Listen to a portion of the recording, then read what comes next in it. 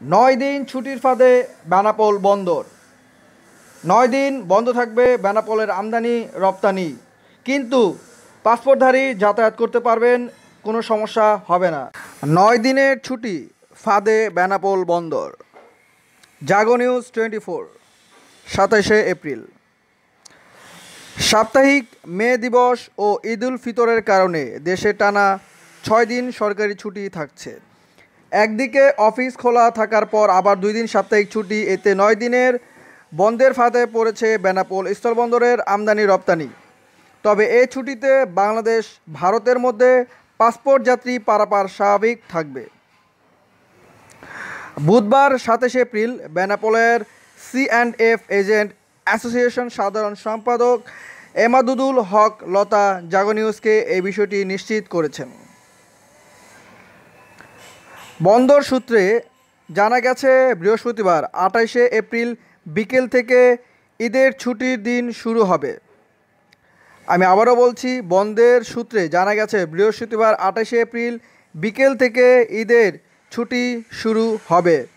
শুক্র, শনিবার তিরিশ, উনতিরিশ, তিরিশ এপ্রিল সাপ্তাহিক ছুটি একই মে, শনিবার মে দিবস ও দুই মে থেকে চার মে ঈদের ছুটি ঘোষিত হয়েছে। এতে টানা ছয় দিন বন্ধ থাকবে দুদেশের মধ্যে আমদানি, রপ্তানি, বন্দর ও কাস্টমের কার্যক্রম।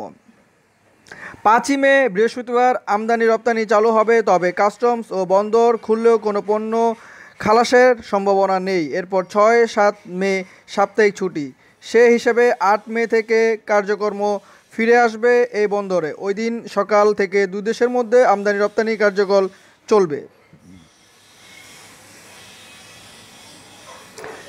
এমদাদুল হক, লতা বলেন, আটাইশে এপ্রিল বিকেল থেকে আমদানি রপ্তানি বন্ধ থাকবে। এছাড়া সরকার ঈদের তিন দিন আগেই আগে ট্রাক ও কাভার ভ্যান চলাচল বন্ধ রাখায় বন্দরকে কোনো পণ্য খালাসও হবে না।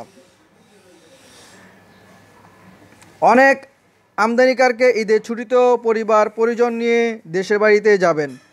তারা ঢাকা ফিরে না আসা পর্যন্ত কোনো পণ্য খালাস নেবেন না।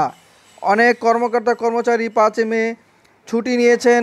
এ কারণে সব মিলে নয় দিনের ছুটের ফাঁদে পড়ে যাচ্ছে বেনাপোল বন্দর। আগামী আটই মে থেকে পুনরায় বন্দর ও কাস্টম কার্যক্রম সচল হবে।